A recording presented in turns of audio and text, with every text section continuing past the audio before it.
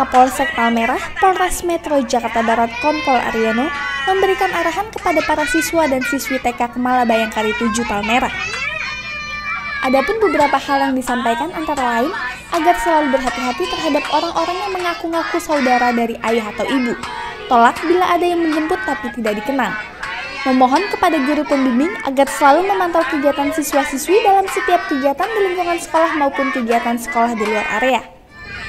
Selanjutnya, Kapolsek mendampingi para siswa dan siswi untuk menuju bus di parkiran Hotel Pita Giri yang akan menuju ke lokasi kegiatan sekaligus memberikan pengawalan dengan memanggil unit patroli dari Lantas Polres Metro Jakarta Barat untuk menuju lokasi kegiatan serta menugaskan Kanit Sabara dan anggota unit patroli untuk mengatur lalu lintas agar memberikan kelancaran dalam perjalanan. Dari laporan patwal bahwa siswa dan siswi TK Kemala Bayangkari 7 Palmerah telah sampai di lokasi dengan selamat dan situasi aman terkendali. Dari Jakarta, Tim Liputan Tribrata TV, salam Tribrata.